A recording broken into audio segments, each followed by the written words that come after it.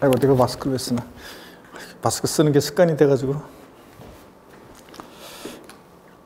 예, 수험생 여러분, 자, 우리 이어서 봅니다. 80페이지 제4절 과세 표준입니다. 자, 여러분, 세금 계산 어떻게 할 것이냐 이건데요. 아, 시험에서 출제 비중은 아까 말씀드렸습니다. 과세 표준 독립 화문제로 또 나올 수 있고 또 이것은 세율하고 묶어서 나올 수도 있고 중요합니다. 여러분 보시면요. 자, 어떻게 된 거냐면 우리 세금 계산은 이렇게 합니다. 여러분 보시, 보세요. 세금 계산은 과세 표준이라는 거, 요 과표라는 것이 여러분 결정이 되면요. 과세 표준 결정이 되면 여기다 곱하기 세율이죠. 그래서 법에서 정해진 세율을 곱해서 우리가 뭘 구하냐면 산출세액을 구합니다. 산출세액을. 자, 그래서 산출세액을 구한 다음에 예, 세금 계산하는데 그럴 때 우리가 앞에서 배웠던 것이 이런 겁니다. 과세 표준이라는 것은 세금을 계산하는데 기초가 되는 가액이나 수량 등을 말한다고 그랬고요. 그래서 과세 표준이 가액이나 금액으로 표시되면 종가세, 수량, 면적, 건수 등으로 표시되면 종량세 그랬었죠. 또 이 과세 표준과 세액 결정을 누가 하느냐에 따라서 징수 방법 달라졌습니다. 그래서 납세무자가 과세 표준과 세액 결정한다 원칙적으로 그래서 계산된 세금을 과세처에 신고하고 납부 하는 방식을 우리가 신고 납부 방법 그랬었고요. 또 어, 지방세 같으면 이제 과세 주체 어, 세무공무원이 과세 표준을 결정하고 그래서 곱하기 세율에서 산출세 세무공무원이 세금을 계산해서 납세무자에게 납세 고지서를 발부해서 징수하는 방식을 우리가 보통 징수 그랬습니다. 그렇죠 여러분들? 자 그랬을 때 이 과세 표준이라는 것이 취득세는 과세 표준이요 취득 가격이에요 취득 가격 그래서 취득하는 가격이 취득가액이 예, 과세 표준이고 취득가액. 그 다음에 등록면허세는 과세 표준이 부동산 등기할 때 그 부동산 가액이요. 부동산 가액이 과세 표준이 되고요. 예. 근데 물론 이제 등록면허세에서는 부동산 가액이 과세 표준이 되기도 하지만 건수라든가 채권 금액 같은 게 과세 표준이 되기도 합니다. 나중에 등록면허세에서 자세히 보고요. 그 다음에 재산세 과세 표준은 재산 가액이 과세 표준이 됩니다. 재산세 과세 표준은 재산 가액이고요. 자 이럴 때 여러분 취득세와 등록면허세는 누가 이 과세 표준을 결정하느냐 그러면 신고 납부하는 세금이니까 납세 의무자가 신고 납부하는 세금이니까 납세 의무자가 이 과세 표준을 결정합니다. 자 그런데요 이 재산세 재산가액은 누가 결정하느냐 그러면 과세 주체가 결정합니다. 과세 주체가 이것을 결정하죠. 예. 그래서 세, 어, 우리가 지자체 장이 재산세는 보통 징수하니까 과세 표준, 표준을 결정합니다. 취득세 등록면허세는 납세무자가 이 과세 표준을 결정하는데 취득세 과세 표준이요. 취득 가액이죠. 자 그러면 우리가 이제 취득세 과세 표준 일반적인 경우와 그렇지 않은 경우가 있는데 일단 제가 먼저 설명을 드리겠습니다. 일반적인 경우와 또 그 다음에 특수한 경우에 과세 표준을 우리가 이제 또 보도록 하겠습니다. 취득세는 어떻게 과세 표준이 결정되느냐? 납세무자가 결정하는데 취득 가격을 자 어떻게 결정하냐면 보세요. 일반적인 경우에는 여기 봅니다. 일반적인 경우에 취득세 과세 표준은 어떻게 결정되냐면 먼저 원칙적으로 납세무자가요 예, 취득 당시 가액을 취득세 과세 표준하는데 취득 당시 정확히 얘기하면 신고하는 가액을 과세 표준으로 합니다. 그래서 취득세 과세 표준은 취득 당시에 취득 당시 납세무자가 신고하는 가액 나 얼마에 취득했다 신고하는 가액을 과세 표준으로 합니다. 근데요 뭐 1억에 취득했다 그럼 1억 원 3억에 취득했다 3억 원 취득했다고 신고하는 가액을 취득세 과세 표준으로 합니다. 근데 예외적으로 예외적으로 어, 예외적으로 취득세 과세 표준 보시면요 예외적으로 여러분요 시가 표준액을 과세 표준 금액으로 하는 경우도 있습니다. 시가 표준액. 자, 여러분 시가 표준액이라는 게 어떤 거냐? 그러면 자, 우리 처음 초심자분들 잘 한번 보세요. 시가 표준액이라는 게 어떤 거냐면 이런 거예요. 우리가 흔히 공식 가격이란 말이 있습니다. 여러분 보세요. 네. 공식 가격이란 말이 있는데요. 공식 가격 들어보셨죠, 여러분들? 공식 가격. 공식 가격에는 어떤 게 있냐면 기준 시가도 있고요. 기준 시가도 있고 그 다음에 시가 표준액이 있습니다. 시가 표준액. 자, 그랬을 때 아, 기준 시가는 들어보셨냐 그러면 기준 시가란 말은 들어보셨다는 분이 많은데요. 예, 시가 순액이라는 말 들어보셨냐 그러면 자 못 들어봤다 이런 분들이 많은데 사실은 여러분들이 시가 순액을 더 많이 접했을 텐데 이걸 이제 관심 없이 납세 고의서 같은 걸 보기 때문에 잘 모르시는데요. 일반인들은 봅니다. 기준 시가라는 것은 국세를 과세하는 데 있어서 국세를 과세하는 데 있어서 그 물건에 대한 기준이 되는 가격을 우리가 어, 기준 시가 이렇게 얘기합니다. 국세를 과세할 때 물건에 대한 기준이 되는 가격. 시가순액이라는 것은 지방세를 과세할 때 있죠. 지방세를 과세하는 데 있어서 그 물건에 대한 기준이 되는 가격을 우리가 시가 순액 이렇게 얘기합니다. 여러분 지방자치단체 장은 항상요. 자 세금을 계산할 때 무엇으로 계산하냐? 시가 표준액으로 계산합니다. 여러분 여러분 살고 계신 곳에 시군 시군구에서 만약에 여러분이 집을 갖고 계세요. 그럼 여러분이 갖고 계신 그 주택에 대해서 여러분 살고 계신 곳의 시장수 구청장은 매년 재산세를 계산해서 납세 고지서를 발부해 옵니다. 자 그럴 때 아니 시장군수구청장은 도대체 무엇을 근거로 여러분 집에 대해서 재 재산세를 계산했냐? 무엇을 근거로 계산합니까? 시가순액을 기준으로 세금을 계산했습니다. 자, 그래서 시가순액이라는 것, 지방자치단체장이 세금 계산할 때는 항상 시가순액으로 한다. 지방세를 과세할 때 물건에 대한 기준이 되는 가격이다. 이 기준 시가와 시가순액은 공통하는 것도 있지만 디테일하게 들어가면 다르기 때문에 구별이 됩니다. 국세에서 뭐라고 한다고요? 기준 시가. 지방세에서는 시가순액. 이걸 통칭해서 우리가 흔히 공시가격 이렇게 얘기합니다. 그럴 때 시가순액, 토지 시가순액은 어떻게 결정되냐면요. 토지 시가순액이 이렇게 결정돼요. 우리나라 어, 전국토에 자 보세요. 우리나라 전국토에 자, 우리나라 통치권이 미치는 전 국토에 울릉도 독도 있고요. 통치권이 미치는 전 국토에 수많은 필지들이 있잖아요. 땅값을 매길 때 여러분요. 땅값을 매길 때 각 지역마다 어, 시장군수, 어, 시군구 그 각 지역마다 있죠. 어, 주변 토지 지가에 영향을 줄 수 있는 대표성 있는 땅들을 선정합니다. 이것을 뭐라고 하냐면 표준지라고 해요. 표준지. 이 표준지라고 하는데 이걸 누가 선정하냐면 국토교통부 장관이 선정합니다. 국토교통부 장관이 산정해요. 그래서 국토교통부 장관이 산, 산정해서 표준지 땅값을 산정 고시하는데 그게 표준지 공시지가 또는 표준지 공시지가 또는 공시지가 이렇게 얘기합니다, 여러분. 표준지 공시지가 또는 공시지가 들어보셨죠, 여러분? 이게 표준지 땅값인데요. 이걸 참작해서 시장군수구청장이 자기 관할 구역 내 개별 필지들의 땅값을 산정 고시합니다. 이게 뭐냐면 개별 공시지가입니다. 개별 필지들에 대한 땅값 개별 공시지가. 이게 토지 토지 시가 편익이 됩니다. 이거는 누가 산정고시하냐? 지자체장이요. 시장군수구청장, 또 특별자치도지사, 특별자치시장, 지자체장이 지자체장이 시장군수구청장 등이 산정고시합니다. 이 개별 공시지가 이게 토지 시가 편액도 되고 또 토지의 기준 시가도 됩니다. 개별 공시가요. 또 주택은 여러분요. 주택은 또 각 지역마다 각 지역마다 주변 주택 가격에 영향을 줄 수 있는 대표적인 주택들이 있어요. 이것을 표준주택이라고 하고 예, 국토교통부 장관이 선정합니다. 그러면 이 표준주택을 선정해서 표준주택 가격을 산정 고시합니다.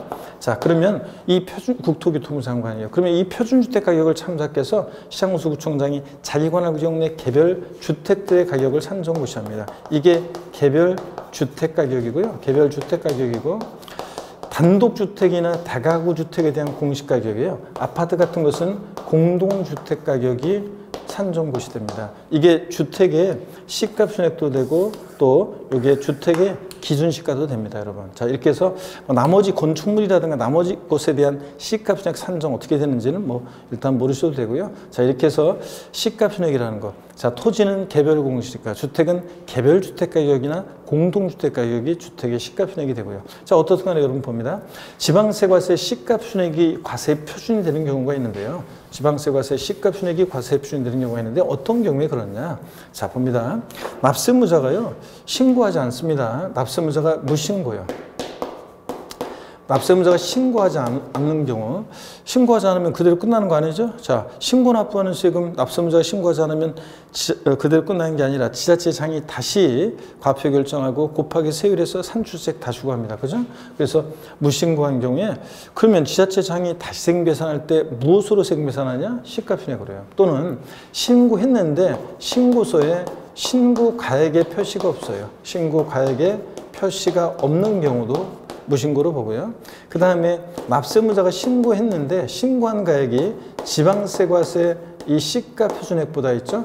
더 적게 신고가 돼요. 그러면 불성실 신고했다고 봅니다. 이게 어떤 얘기냐면 여러분 보세요.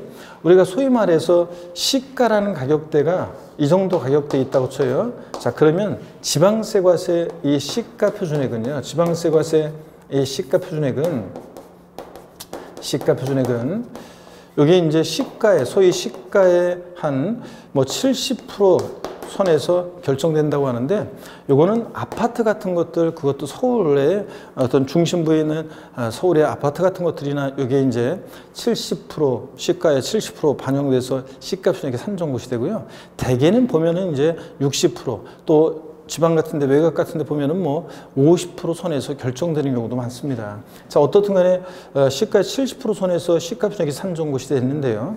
어떤 사람이 취득했다고 신고한 가액이 신고한 가액이 시가편액보다 적게 신고돼요. 그러면 과세당국에서는 여러분요 객관적 입증이 없는 한은 아 뭐야 시가의 6, 70% 선에서 시가편액 산정고시 되는데 그거보다 더 낮게 신고해? 그럼 불성실 신고했다고 봐가지고 자 시가편액을 자, 과세 표준으로 한다 그런 얘기입니다. 여기까지 이해되십니까, 여러분? 그래서 취득세 과세 표준은 원칙적으로 납세문자가 취득 당시 신고하는 가액으로 합니다. 자, 근데 예외적으로 지방세 과세 시가 편액이 과세 표준이 되는데 어떤 경우에요? 납세문자 신고하지 않거나 또는 신고세 신고 가액의 표시가 없거나 신고한 가액이 시가 편액보다 적게 신고되는 경우에 이런 경우에는 시가 편액을 과세 표준으로 합니다. 그럼 요까지 얘기를 다시 사례로서 한번 볼까요, 여러분들? 자, 사례로 한번 보겠습니다. 예를 들어서요, 여러분. 각과 을이라는 사람이 만약에 거래를 해요. 어떤 부동산을. 저 어떤 부동산을 거래를 하는데 예를 들어서 부동산을 매매합니다. 그럴 때 이 부동산에 대한 지방세 과세 이 시가 표준액이 시가 표준액은 예를 들어서 1억 원입니다. 을이 취득했다고 신고한 가액이 예를 들어서 1억 2천만 원입니다. 1억 2천이에요. 자, 취득세 과세 표준 금액은 얼마로 하는가? 얼마로 해야 되겠습니까, 여러분? 취득세 과세 표준 원칙 취득세는 신고하는 가액으로 하잖아요. 그러니까 원칙 신고하는 가액이니까 신고한 가액 곱하기 세율에서 세액 계산합니다. 자, 이렇게 해서 신고하는 거예요. 자, 근데 이렇게 하는 게 원칙인데 원칙 취득 당시 신고하는 가액인데 이번에 이렇게 하겠습니다. 신고를 안 했어요, 납세자가. 그럼 그대로 끝나는 거 아니죠? 지하청이 다시 과표 결정하는데 무엇으로 해요? 시가순액으로 해요. 그래서 시가순액 곱하기 세율에서 세액 계산한 다음에 이 불성실 신고한 것에 대한 요 가산세를 합해 가지고 합한 금액에 대해서 납세 고지서를 발부해서 징수합니다. 자, 여러분 우리가 취득세는 원칙 원칙 신고하는 가액으로 하죠. 아 근데 우리가 납세문자가 신고 납부해야 되는데 신고 납부를 불성실하면 가산세부터는 그대로 끝나는 거 아니죠? 지자청에 다시 세금 계산한 것에다가 가산세 앞에서 납세 고지서 발부하니까 취득세는 우리 조세 총론에서 배웠어요. 원칙 신고 납부하는데 예외적으로 가산세부터는 보통 징수 방법으로도 징수된다. 그랬죠, 여러분들? 자, 그런 얘기입니다. 자, 또는요, 또, 이번에는 납세문자 신고했어요. 신고하긴 했는데 시가편액보다 적게 신고가 됐습니다. 자, 객관적 입증이 없는 불성실 신고했다고 봐서 시가편액에 적게 신고되면 자, 지자청에 다시 과표 결정합니다. 무엇으로? 시가편액으로 곱하기 세율에서 세 계산하고 불성실 신고한 것에 대한 가산세를 합한 금액을 납세 고지서를 발부해서 징수합니다. 요까지 내용들 이해되십니까, 여러분? 요까지. 자, 그 다음에 또 여기 보세요. 특례가 있는데요. 특례가 있는데 특례가 있는데요. 시가편액 과 상관없이 시가편액보다 높든 낮든 상관없이 예, 언제나 항상 사실상 취득 가격을요. 사실상 취득 가격을 취득세 과세 표준 금액으로 하는 경우도 있습니다. 사실상 취득 가격을. 근데 이건 아무 때나 인정 안 해요. 아무 때나 인정하면 뭐 다 시가편액보다 낮게 신고할 거 아니에요? 그래서 객관적으로 입증되는 거래만 인정합니다. 자, 여러분 제 입에서 객관적 취득 나왔다? 그럼 뭐예요? 국수 공판 법이죠. 자, 그래서 국가나 지자체, 지자체 조합으로부터 취득했다. 자, 그럼 여러분 보세요. 국가 지자체, 지자체 조합으로부터 취득했다. 시가편액 1억짜리를 제가 서울특별시로부터 매매로 8천에 취득했습니다. 그러면 공무원들이 다 적어놨겠죠? 8천만 원 취득가격이 입증이 되잖아요. 그래서 그 8천만 원을 과세 표준으로 합니다. 그 다음에 수입에 의한 취득이요.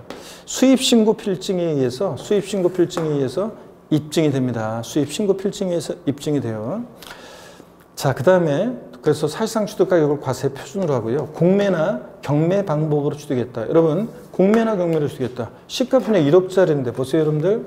예를 들어서 시가편액이 1억짜리 부동산인데 시가표준액 1억짜리 부동산인데 이게 공매나 경매에 넘어갔어요. 경락된 가격이 만약에 7천만 원이다. 취득세 과세표 금액은 얼마나 옵니까? 자, 시가표준액에 관계없이 적더라도 이 객관적으로 입증이 되니까 7천만 원을 과세 표준으로 합니다. 공매, 경매로 취득한 경우. 또 보세요, 여러분들. 판결문에 의해서 판결문에 의해서 입증되는 경우. 자, 판결문에 의해서 입증이 된다. 민사 소송이나 행정 소송 절차에 의해서 확정된 판결문으로 입증되면 이거도 확실한 게 어디 있어요? 사실상 취득 가격을 과세 표준으로 합니다. 단 이 판결문에서 제외되는 경우가 있습니다. 단 판결문에서 제외되는 경우가 있죠. 화해 그 다음에 인락, 포기, 자백간주에 의한 경우는 이 판결문에서 어떻게 한다고 그랬어요? 제외한다고 그랬습니다. 객관성 없다고 그랬죠? 조정 절차 속에서 나온 거니까. 그래서 여기 한번 보세요. 어떤 부동산의 시가 표준액이 1억짜리인데 화해 조소상으로 화해 조소상으로 입증되는 가격이 시가 표준액에 미달하는 경우에도 화해 조소상 입증되는 가격을 취득세 과세 표준 금액으로 한다. O, X예요. X입니다.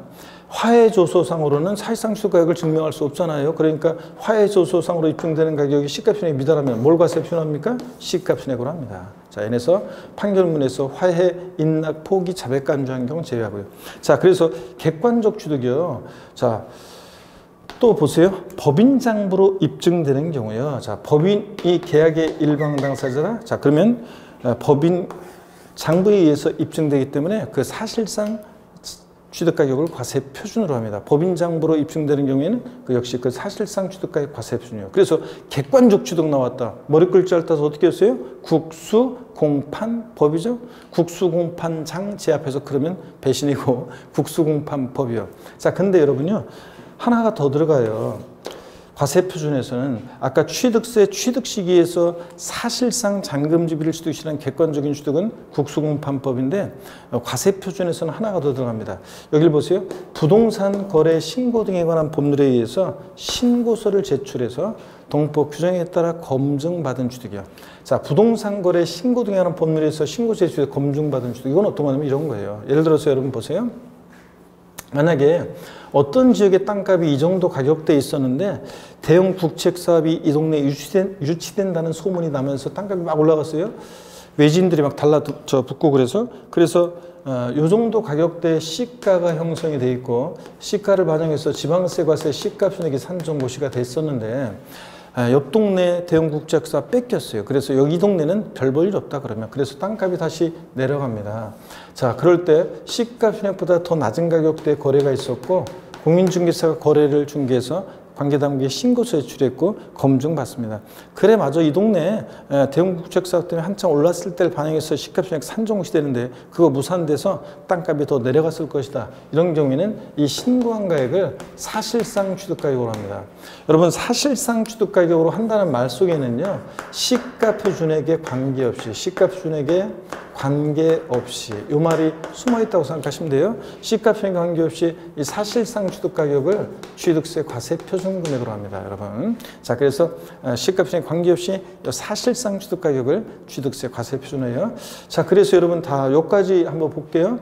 취득세 일반적인 과세 표준은 납세문자가 결정하는데 취득 가격을 원칙 취득 당시 납세문자가 신고하는 가격으로 하고 예외적으로 시가편액이 과세 표준이 되는데 신고거나 또는 신고한 가액이 시가편액보다 적게 신고되면 불성실 신고하면 지자체장이 다시 못으로 항상 과표 결정한다 시가편액으로요.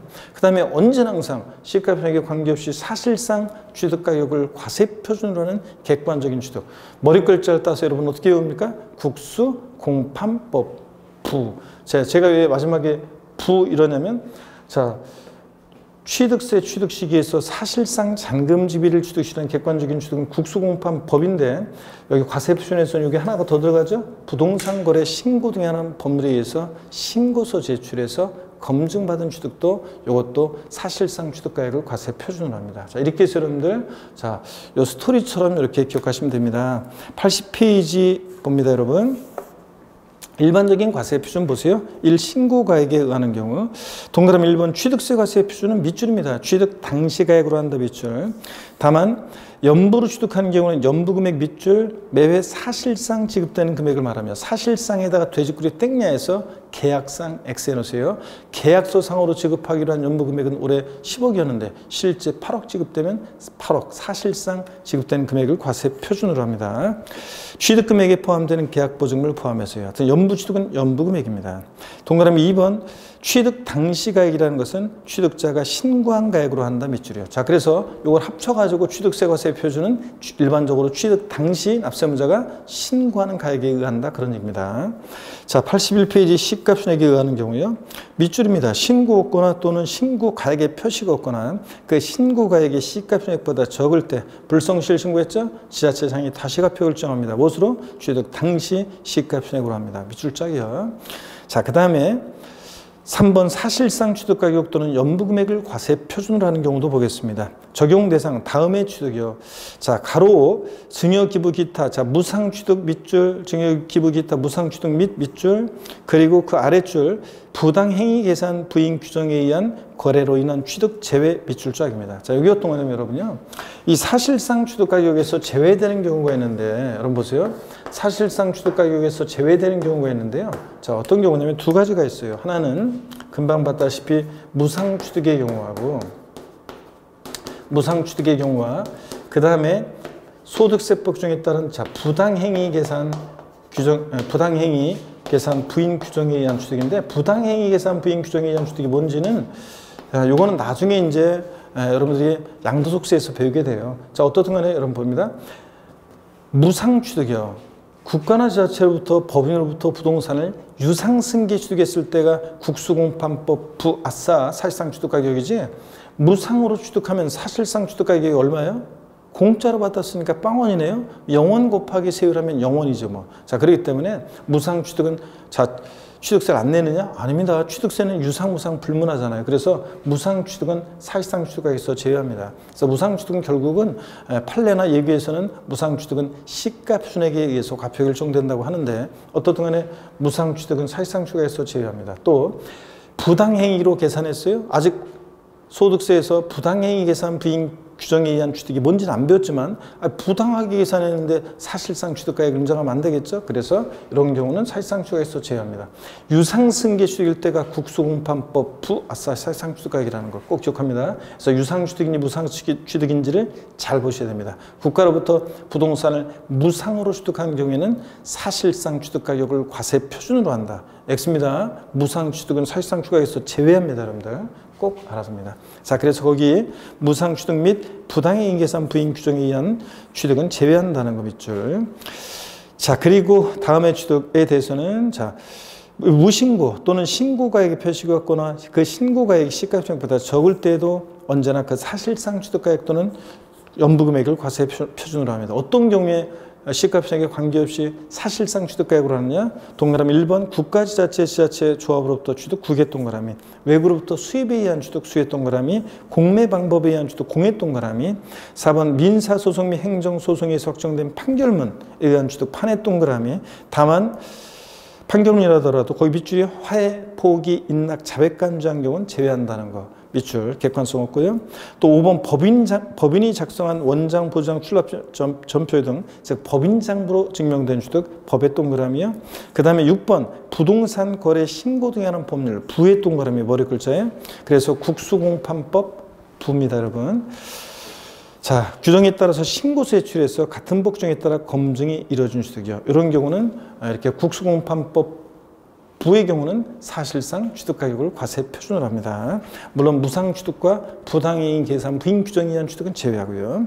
또 이어서 봅니다. 동그라미 6번의 두 번째 줄맨 끝에 이 사실상 취득가격 또는 연부금액이 밑줄 부동산 거래 신고 등에 관한 법률 6조에 따른 조사 결과 여러분요 어, 원래요 동그라미 6번 국수공판법 부 이거는 어, 5조에 따른 검증이라는 것은 시스템적인 일률적인 검증이고요. 여기 부동산 거래 신고 등하는 법률 6조에 따른 조사 결과 이 조사는 개별적인 조사예요. 그래서 자료 제출을 개별적으로 요구해 가지고 개별적인 조사를 해 봤더니 그 결과 밑줄이요. 조사 결과 또는 세무서장 등으로부터 통보받은 자료에 의해서 확인된 금액보다 적은 경우에는 계속 밑줄입니다. 여기 포인트요. 계속 확인된 금액을 과세 표준화합니다. 포인트는 확인된 금액 이게 포인트예요. 시험에서 바꾸면 자 사실 부동산 거래 신고에 관한 법률 3조 규정에 따른 신고 제출하고 5조에 따라 검증이 이루어진 취득의 경우 그 사실상 취득 가격이 관할 세무서장 등으로부터 통보받은 자료라든가 6조에 따른 조사 결과에 따라 확인된 금액보다 적은 경우에도 그 사실상 취득 가격을 과세 표준으로 한다. 바꿔요. 사실상 취득 가격이 아니라 뭐로 한다? 확인된 금액. 여기 확인된 금액에 여러분 사각형하거나 형용펜으로 딱 줄거놓고 확인된 금액 별 표시해서 꼭 기억합니다. 아직 이게 2년 전에 신설이 됐는데 아직 시험이 안 나왔으니까 이것도 꼭 알아둡니다. 바꾸면 옳은 질문 나오거나 아니면 바꾸면 이거 그 사실상 취득 가격이 이런 확인된 금액보다 적을 때 확인된 금액으로 하는 건데 사실상 취득 가격으로 한다고 바꿔요. 이걸 주의합니다, 여러분들. 자, 그리고 거기 기억 니은 어, 그리고 기업과 니은 중 큰 금액을 과세 표준으로 한다. 자, 돼 있는데 한번 읽어 보시면 되겠습니다. 당연하죠, 여러분들. 만약에 부동산 거래 신고당 법률에서 검증받은 주택 5조에 따른 이 사실상 취득 가격 요거하고 확인된 금액과 비교해서 확인된 금액이 적으면 당연히 원래대로 어, 그 5조에 따른 그 사실상 취득 가격으로 하는 거고요. 만약에 이게 확인된 금액보다 사실상 가격이 적으면 확인된 금액으로 하는 거고요. 그 얘기입니다, 여러분. 자, 그래서 기업과 기원 중큰 금액을 과세 표준한다. 밑줄이요. 자, 그 다음에 넘어갑니다. 82페이지, 여러분 82페이지 핵심을 한번 보세요. 사실상 잔금지빌과 사실상 취득가격 구분 그래가지고요. 예. 우리가 어, 취득세 과세 표준에서 사실상 취득가격으로 하는 것은 국수공판법 부까지 들어가는데 아까 취득세 취득 시기에서 사실상 잔금지빌 취득 시라는 객관적인 취득은 국수 공판 법까지지 부동산 거래 신고 등하는 법률에 의해서 신고세 취득 검증받은 취득은 요거는 어, 제외합니다. 이것은 계약상 잔금지빌 취득시래요. 여러분 왜 그러냐면요. 이 부동산 거래 신고라는 법률에서 검증받은 취득은 옛날에 한때 법령 명칭은 지금하고 다르지만 객관성이 있다고 해서 사실상 잔금지비를 취득시로 했었어요. 그랬는데 자 일반 국민들 입장에서 보면 여러분들도 헷갈리는데 일반 국민들이 봤을 때 어떨 때는 신고된 계약서를 보고 어, 계약상 잔금지비로부터 60일 내 취득세를 신고 납부하는데 어느 때는 계약사 상관없이 사실상 잔금 지급된 때부터 취득세를 신고 납부하라고 하니까 일반 국민들이 헷갈리잖아요. 그래서 일반 국민들은 그냥 뭘 보면서 하는 게 좋잖아요. 그래서 신고된 계약상 잔금지비를 취득 치료합니다.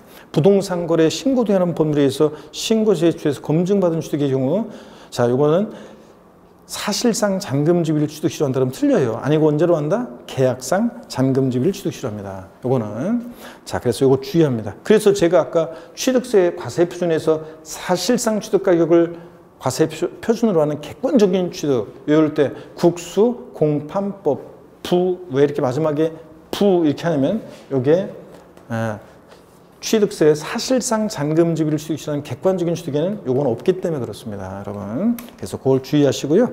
자, 그래서 표 요것도 여러분들이 그 끝의 내용을 주의하시고 그 다음에 양가로 2번 과세 범위요. 자, 이건 어떤 거냐면 우리가 사실상 취득가격을 취득세 과세 표준으로 할 때 이 사실상 취득가격에 포함되는 게 있고 포함되지 않는 게 있어요. 그래서 그게 어떤 건지 쭉 나오는데 시험에 사례 문제로 나온 적도 있고 또 틈틈이 이게 또 이제 어, 여러 번 또 나왔었어요. 자, 그래서 박스형 문제로도 나오고 그래서 이거 어, 사실상 취득가격이 어떤 게 포함되는지 포함되지 않는지를 어, 눈에 자꾸 익혀두는 수밖에 없어요, 여러분들. 자, 한번 보겠습니다. 달달달 외울 수는 없고요. 눈에 익혀두면서 이렇게 골라내는 수밖에 없습니다. 양가로 2번 과세 범위를 봅니다. 취득가격 범위요.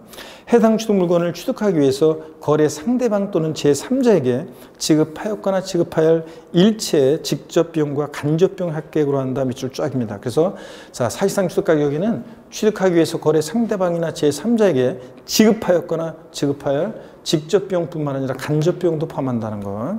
자, 그 다음에 다만 세 번째 줄이요. 또 밑줄입니다. 취득대금을 일시급 등으로 지불하여 일정액을 할인받는 경우에는 그 할인된 금액으로 한다 밑줄짝입니다. 그럼 이게 어떤 건지 한번 볼게요, 여러분들. 자, 요거 어떤 건지 한번 보겠습니다. 자, 잘 보세요, 여러분들. 네. 할인된 금액으로 한다. 자, 어떤 얘기냐면 이런 겁니다. 갑과 을이 있죠. 갑과 을이, 갑과 을이 어떤 부동산을 거래를 하는데 을이 지급하기로 약정한 대금은 을이 지급하기로 한 약정 대금은 예를 들어서 10억입니다. 을이 지급하기로 한 약정 대금은 10억인데 근데 매매 대금을 일시에 지급함에 따라서 을이 갑한테 매매 대금을 매매 대금을 대금을 자 일시에 지급합니다. 일시 지급함에 따라서 예. 갑이 기분이 좋아서 그래 내가 천만 원 깎아줄게. 매매 대금을 일시에 지급함에 따라 할인받은 할인 금액이요. 할인 금액이 할인액, 할인 금액이 천만 원입니다. 매매 대금을 일시에 지급함에 따라 할인받은 금액이 천만 원이에요. 그럼 말장난 같지만 할인된 금액은 얼마냐? 할인된 금액은 얼마냐면 자 할인된 금액 얼마입니까 여러분? 할인된 금액은 요게 자 할인된 금액은 아, 그러면 9억 9천이겠죠? 네, 9억 9천이요. 자, 9억 9천입니다. 그러면 취득세 과세 표준 금액은 얼마로 해야 됩니까? 할인 된 금액 9억 9천만 원. 요게 취득세 과세 표준 금액이 됩니다. 자, 그러면 여러분요. 이 사실상 취득 가격에 매매 대금을 일시 지급함에 따라 할인받은 할인액, 할인 금액, 할인액은 취득 가격에 포함한다, 포함하지 않는다? 이것은 취득 가격에 포함하지 않습니다. 할인된 금액을 과세 표준으로 하는 거지. 할인액은 포함하지 않습니다. 할인액, 할인 금액 이거 포함하지 않는다는 거. 자 주의하시고요. 자 이렇게 해서 여러분들 요 사례를 아예 딱 어, 그 옆에 보조단에다가 여러분이 적어 놓고서 아예 요 사례를 적어 놓으시면 되겠습니다. 자 이걸 적어 놓으시고요. 자, 그 다음에 계속 이어서 봅니다. 동그라미 2번이요. 취득가격에 포함되는 것과 포함되지 않는 게 있습니다. 자, 포함되는 것들 눈에 한번 쭉 어, 이해하면서 익혀, 어, 눈에 그냥 익혀두는 수밖에 없어요. 기업번 건설 자금에 충당한 차입금의 이자, 아, 또는 이와 유사한 금융비용. 자, 건설 자금 이자 같은 거요. 공사 기간이 길고 그러기 때문에 이런 것도 취득 가격이 포함합니다. 건설 자금 충당한 차입금 이자 포함하고 그 다음에 밑줄이고요. 그 다음에 니은번 농지법에 따른 자 농지보존부담금, 대체 산림자원 조성비 같은 관계법령에 따라 의무적으로 부담하는 비용 포함하고요.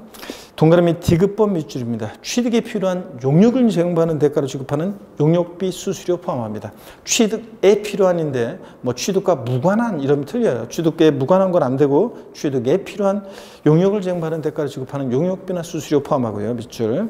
그 다음에 리을번 취득 대금 외에 당사자 약정에 따른 취득자 조건 부담액과 채무 인수액 밑줄입니다. 이건 어떤 거냐면 이런 거예요. 자, 여러분.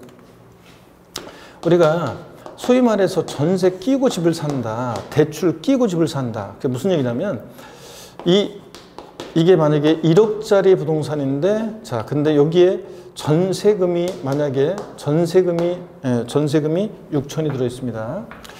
전세가 6천이 어, 들어 있다. 전세금이 6천입니다.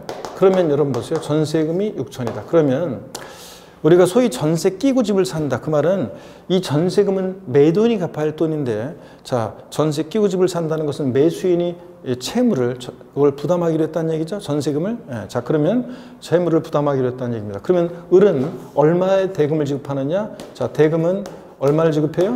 예, 자, 4천만 원만 지급하잖아요. 자, 그러면 이 취득대금 외에, 취득대금 외에 당사자가 부담하는 이 채무 부담액, 요것도 포함해서, 요것도 포함해서 얼마에 취득했다고 취득세 신고해? 1억에 취득했다고 신고하잖아요. 이런 거예요. 자, 그래서 우리가 또 은행에서 1억짜리 집인데 갑이 이거 이 집을 담보로 은행에서 대출금이 만약에 6천이 어, 있다. 자, 그것도 역시 채무를 인수하죠. 아, 요거를 자 인수해서 을이 이 집을 살 때 4천만 원 대금 지급하고 아, 요거 만약에 저당권 설정되어 있는데 차입금이 6천이 있다. 그럼 요것도 부담하기로 했잖아요. 그럴 때 이 채무 부담액을 포함해서 우리가 1억에 취득했다고 취득세를 신고합니다. 이런 겁니다. 자, 그래서 여러분 자, 다시 계속 보세요. 시험에도 이미 나왔지만 취득의 어, 저 리을 번요. 취득 대금의 당사자 약정에 따른 취득자 조건 부담액과 채무 인수액 전세 끼고 또 대출 들어 있는 것을 또 매수인이 예, 이거 인수해서 이제 집을 살 때 그걸 생각하시면 되겠습니다. 포함하고요.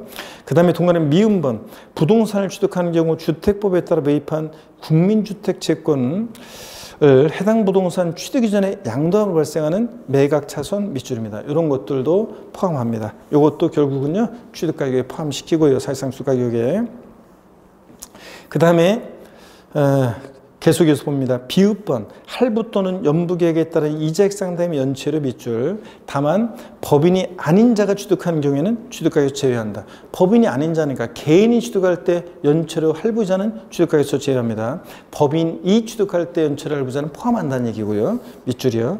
그 다음에 시효번역. 공인중개사법에 따른 자 공인중개사에 지급한 중개보수 밑줄입니다. 요거 포함하는데 다만 법인이 아닌 자가 취득한 경우에 연체 어, 저, 어, 중개 수수료는 지급한 중개 보수는 어, 제외합니다. 자 그러면 밑줄입니다. 여기 어떤 거냐면 여러분요, 여러분들 자 보세요, 여러분들 아, 이거 어떤 거냐면 이런 겁니다. 우리가 연체료 할부이자 할부 또는 연부계획에 따른 연체료 할부이자 또 그 다음에 중개보수 한번 보겠습니다. 할부 또는 연부계획에 따른 할부이자 연체료 그 다음에 또 중개보수, 아, 공인중개사에 지급한 중개보수. 자, 요거요. 누가 취득하는지를 잘 보셔야 돼요. 시험 사례 문제 나오면 여러분요. 누가 취득하는지 잘 보셔야 되는데, 자, 보세요. 법인이 취득할 때, 법인이 취득할 때, 법인이 취득할 때 연체료 할부자는 취득가격에 포함합니다. 자, 그래서 법인이 취득할 때 연체료 할부이자 포함합니다. 자, 봅니다. 법인이 취득할 때 연체료 할부이자 포함합니다. 중개보수 포함합니다. 근데 법인이 아닌 자, 개인이죠. 법인이 아닌 자, 개인이 취득할 때, 개인이 취득할 때 연체료 할부자는 취득 가격에 포함하지 않습니다. 여러분들. 이 얘기예요. 그래서 여러분요, 아, 이렇게 해도 기억하세요. 헷갈리면. 법은 바른 거니까, 법은 항상 바른 거니까 O. 근데 개인, 이런 개 XX 이렇게 해서 기억해야죠. 자, 법인이 취득할 때 연체를 부자는 포함하는데 법인이 아닌 자, 개인이 취득할 때는 이런 개 XX 취득가격에 포함하지 않는다. 이렇게라도 여러분들이 알아두시면 되겠습니다. 이거는 이제 사실상 취득가격에 포함 여부입니다. 포함되는지 예, 포함되지 않는지에 관한 얘기입니다. 이렇게 여러분들 기억하시고요. 자, 그 다음에 82페이지 여러분 봅니다. 동그라미 이응번이요. 밑줄이요. 붙박이 가구, 가전제품 등 건축물에 부착되거나 일체를 이루면서 건축물의 효용을 유지 또는 증대시키기 위한 설비, 시설 등의 설치 비용. 자, 밑줄이요. 이거 어떤 겁니까, 여러분? 빌트인이죠. 주부들. 그 빌트인. 자, 그걸 생각하시면 됩니다. 또 지읒번이요. 밑줄입니다. 정원 또는 부속 시설물 등을 조성, 설치하는 비용이요. 택지공사가 준공된 토지에서 정원이나 부속 시설물 등을 조성, 설치합니다. 자, 그랬을 때 이런 비용 들 포함합니다. 사실상 주가액에. 자, 쭉 포함되는 것들 눈에 익히두시고 포함되지 않는 것에 방점을 찍어야 되는데 83페이지 취득가에 포함되지 않는 경우 취득하는 물건의 판매를 위한 광고 선전비 등의 판매 비용과 그와 관련한 부대 비용. 자, 판매를 위해서 신문이나 벼, 어, 룩시장 같은 데 분양 광고 같은 거 하고 이런 것들. 자, 그다음에 판매 비용 포함하지 않고 리음번 전기, 가스, 열 등을 이용하는 자가 분담하는 비용 포함하지 않고요. 또 이주비, 지작물 보상금 등 취득물건과는 별개의 권리에 관한 보상 성격으로 집하는 비용 포함하지 않고요. 미출이요. 또 그다음에 부가가치세 포함하지 않습니다. 자 이렇게 해가지고 여러분들 포함하지 않는 거 아까 할부 또는 연부계약 아, 자 다시요. 아까 포함하지 않는 것들 한번 다시 방점을 찍어볼게요. 매매대금을 일시에 지급함에 따라 할인받는 경우에 할인 액, 할인 금액 천만 원 깎아줬죠? 포함하지 않습니다. 할인 된 금액을 과세 표준하고 할인액 포함하지 않고. 자, 그 다음에 할부 또는 연체, 할부이자 연체료, 할부 또는 연부계약에 따른 할부이자 연체료, 또 중개보수는 누가 취득하느냐에 따라 달라졌죠? 법인이 아니라 개인이 취득할 때 개인이 취득할 때 연체를 할부잖아. 이런 개 XX 포함하지 않고 그 다음에 여기 판매를 위한 광고 선 전비 같은 거라든가 전기, 가스, 열 등을 이용하는 자가 분담하는 비용이라든가 또 그 다음에 이렇게 이주비, 시작물 보상 같은 거라든가 또 부가가치세 포함하지 않는다는 걸 꼭 기억합니다. 그래서 여러분 여기 표에다가 여러분이 표에다가 별 표시를 딱 해놓고 여러분이 요 표에다가 핵심 요 표에다가 별 표시를 딱 해놓고 여러분들이 꼭 알아둡니다, 여러분들. 자, 그래서 누가 취득하느냐에 따라서 꼭 여러분들이 구별하는데 특히 할부자 연체료 중개 공인중개사 주식반 중개보수는 개인이 취득할 때는 개 XX라는 거 꼭 기억하고 법인이 취득할 때는 포함하고요. 이런 것들 주의합니다. 자, 그리고 이제 포함하지 않는 것들 여러분들 눈에 익혀 두셔야 되겠습니다. 자, 그러면 됐고 여러분들 어, 특수한 경우에 과세 표준 자 봅니다. 그래서 이제 과세 표준 취득세요. 일반적인 경우 과세 표준 쭉 받고 이제 특수한 경우에 취득세 과세 표준이 나오고 있습니다. 자 특수한 경우 과세 표준 어떤 거냐면 이런 겁니다. 자 거기 83페이지 보시니까 특수한 경우에 과세 표준 봅니다. 양가로 1번 건축 개수와 차량 개장비 선박 종류 변경이요. 건축물 건축. 자, 가로 안에 신축과 재축 제외한다 이렇게 되어 있습니다. 여러분, 앞으로 여러분 공부하실 때 있잖아요. 여러분 앞으로 공부하시면서 취득세 몇 번 이런 게 나오는데요. 여기 보세요. 취득세에서 몇 번 이런 게 나오는데 이런 겁니다. 만약에 여러분요. 취득세 몇 번 나오는데 건축물 건축돼 있고 건축돼 있고 건축물 건축돼 있고 신축, 재축, 제외, 예, 신축과 재축, 제외. 자, 이렇게 돼 있는 표현이 이제 몇 번 나와요. 그러면 여러분, 여러분이 공법에서 배우잖아요. 건축돼 있고 그 건축에서 신축과 재축, 제외. 그러면 이 건축에 뭐가 남아요? 원래 건축이라는 것은 신축, 재축, 증축, 개축 이전을 말한다 이렇게 배우잖아요. 자, 그런데 거기서 신축과 재축을 제외하니까 뭐가 남아요? 증축. 개축 등이 남잖아요. 그래서 여러분 거기 교재에다가 이렇게 건축에다가 돼지꼬리 땡야에서 써놓습니다. 증축 등 써놓고 자 보세요. 이렇게 써 있어도 우리는 항상 뭐라고 읽냐면 증축 이렇게 읽습니다. 아 그런 거 있잖아요 여러분들. 뭐라고 써 있어도 뭐라고 읽는다. 자 그런 거 있잖아요. 그래서 제가 수강생분들한테 뭐라고 써 있어도 뭐라고 읽는다. 멋진 말 없냐 그랬더니 어떤 수강생분이 사랑이라고 쓰고 아픔이라고 읽는다. 어 그렇죠? 어. 어떤 수강생 은 뭐라고 써 있어도 뭐라고 읽느냐, 뭐 없냐 그랬더니 예, 묵묵함이라고 쓰고 합격이라고 읽는다. 어, 그렇죠? 자, 제가 여러분께 꼭 드리고 싶은 말은 꾸준함이라고 쓰고 합격이라고 읽는다. 어, 이렇게 제가 얘기했더니 어떤 합격생분들이 제 카페에 인증샷 막 올렸는데 보니까 인증샷 올렸는데 예, 그막 암기상 적은 책상에 막 적은 거기에 포스트잇에 이런 게 있더라고요. 자, 꾸준함이라고 쓰고 합격이라고 읽는다. 강성규 교수. 어, 이렇게 해놨더라고요. 제 어록을 갖다 그렇게 붙여놓고 그냥 보면서 막 공부하셨더라고요.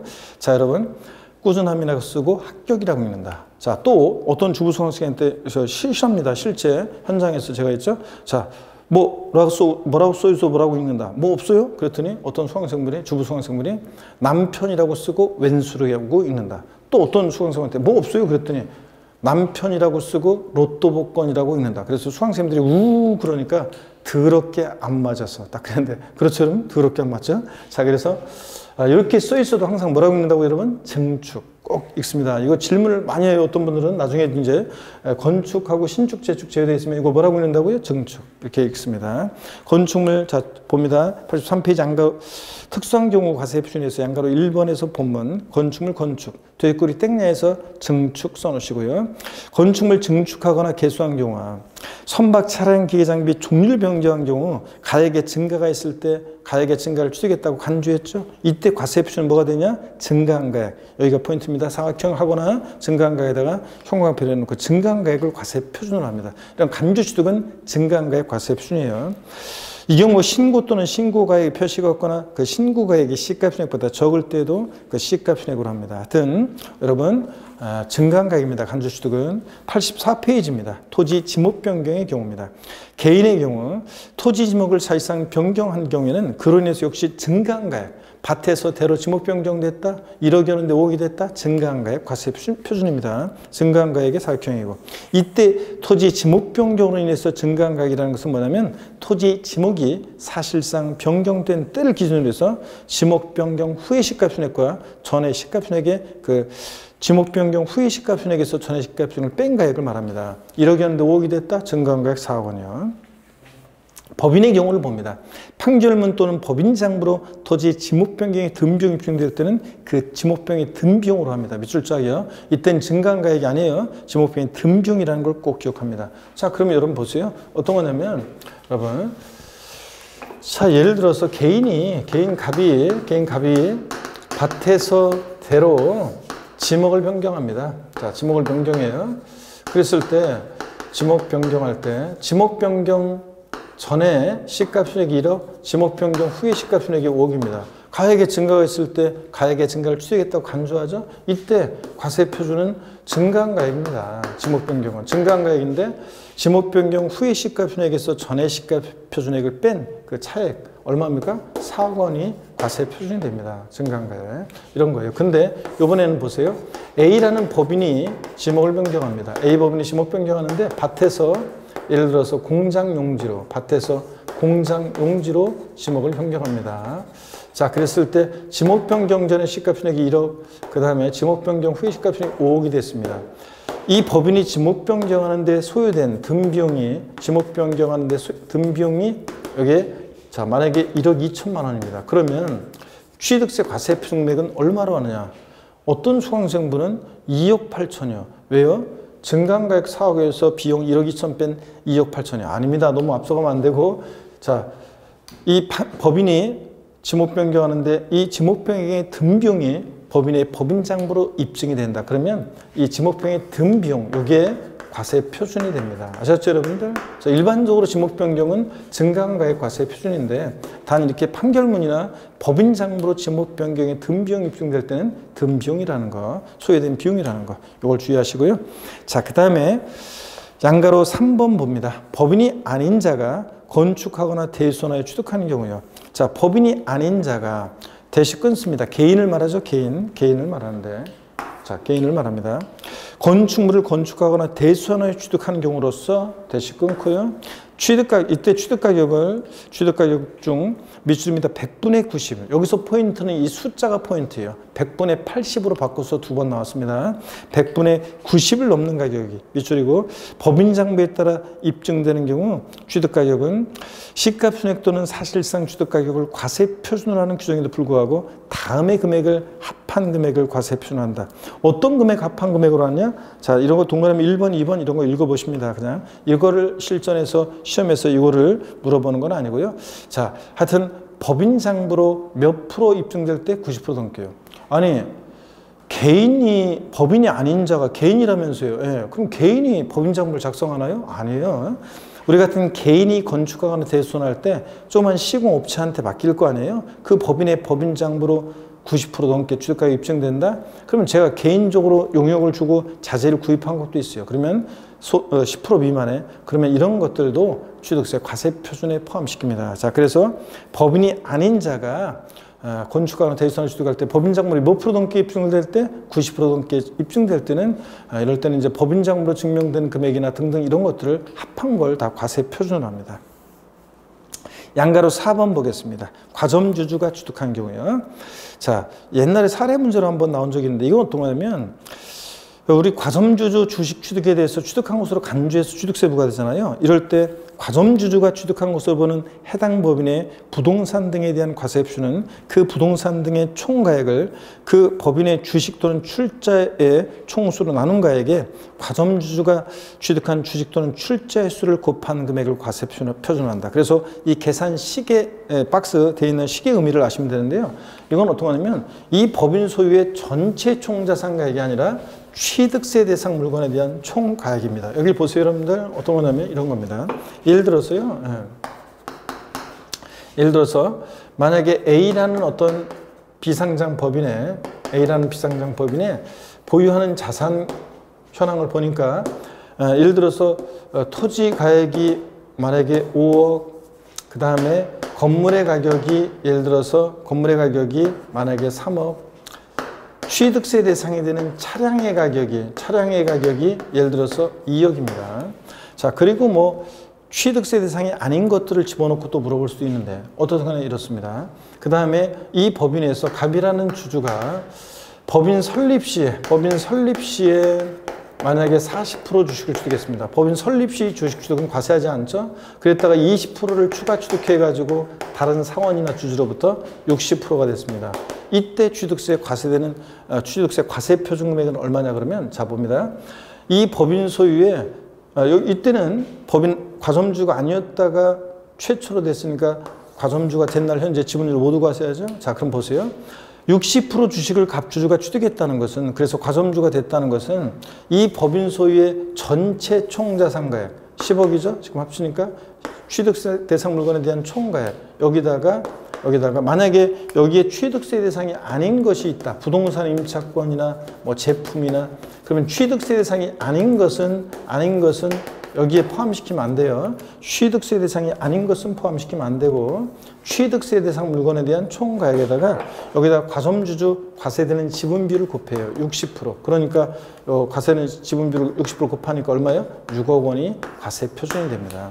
자, 그래서 과점주리의 취득은 이 법인 소유의 취득세 대상 물건에 대한 총가액에다가 전체가 아니라 취득, 어, 이 법인 전체 재산이 아니라 취득세 대상 물건에 대한 총가액에다가 과점주가 취득한 주식의 지분비를 곱해서 우리가 이렇게 구하게 됩니다, 여러분. 자, 요거 어, 과세되는 지분비를 곱한다는 거 이렇게 아시면 되고요. 85페이지 신고하지 않은 경우는 그냥 참고고요. 양가로 5번 토지건축물 일괄 취득은 어, 그냥 부동산 등을 한꺼번에 취득해서 부동산 등의 취득가에 구분되지 않는다.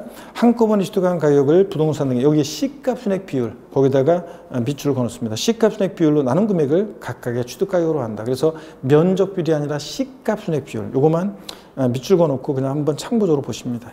됐습니다. 달달 외우고 그러지는 않으셔도 되고요. 참고적으로 보시고 자 그 다음에 시가 순액 산정 방법은 요게 32회 시험 때 지금 처음으로 한번 시가 순액에 관한 독립한 문제가 나왔어요. 그래서 자세한 내용이 또 나올 가능성은 낮아요. 그래서 여러분들 야, 이거요.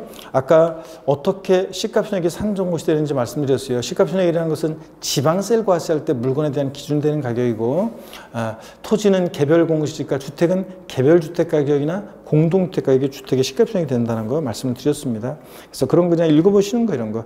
동그라미 1번 부동산 가격 공시 공시에 관한 법률에 따라 공시된 취득연재 개별 공시가, 토지는 개별 공시가가 토지 시가 순액이고요. 그 다음에 2번 취득일 현재 해당 연도에 적용할 개별 공시가가 공시 아직 안 됐다. 올해 거 아직 공시 안 됐다. 그럼 전년도 거 적용하고 개별 공시가 공시되지 않았다 그러면 아, 개별 공시가 아예 공시되지 않은 게 있느냐? 어, 공유수면 매립 간척에서 지적법 공부상 신규로 등록된 토지는 아직 산정 공시 된 적이 없잖아요. 그럴 때는 시장 군수 구청장이요 국토교통부 장관이 제공하는 토지가격 비준표나 어, 뭐 이런 것들을 사용해서 산정한 가격으로 합니다. 하여튼 이거 누가 산정하냐면 항상 공시가격은 아 저 시가순액은 누가 산정하냐면 시가순액은 누가 산정해 지자체 장이 산정한다는 걸 주의합니다. 국토교통부 장관이 아니라 그 다음에 뭐 86페이지 주택의 경우에 부동산 가격 공시에 관한 법률에 따라 공시된 취득연재 개별 주택 가격이나 공동주택 가격이 주택의 시가순액입니다. 단독주택이나 다가구택에 대한 공시 가격은 개별 주택 가격, 아파트 같은 것의 공시 가격은 시가순액, 아, 저 공동주택 가격입니다. 동그라미 2번 취득을 어, 현재 해당 연도에 적용할 개별주택 가격이나 공동주택 가격 결정 공시 안 됐다 그러면 직전 연도 거 적용하고 뭐 이런 것들. 자, 읽어봅니다. 이런 것들은 누가 산정하냐면 어, 항상 시값 순액은 지자체 장이 산정합니다. 근데 이게 32회 어, 시험 때 어, 국토교통부 장관이 이런 것들을 산정한다는 식으로 바꿨었는데요. 자, 또 나올 가능성 낮기 때문에 참고적으로 보시면 되겠습니다. 자, 그래서 한번 참고적으로 보시면 되고 건축물의 시값 순액 결정 어떻게 되는지 어, 참고입니다. 모르셔도 돼요. 이런 것도. 참고적으로 보시고요. 됐습니다. 작년 32회 때 독립범죄로 시가격 산정 나왔기 때문에 또 나올 가능성이 낮고요. 그래서 참고적으로 보시고 자 이렇게 했으면 됐습니다. 86페이지 제5절 세율은 또 잠시 쉬었다가 이어서 보도록 하겠습니다. 잠깐 쉬겠습니다.